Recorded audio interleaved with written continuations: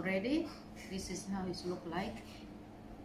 And then last we do the decoration.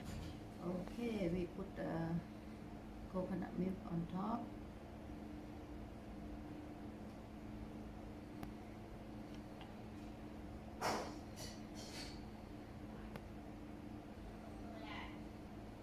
Kaffir lime leaf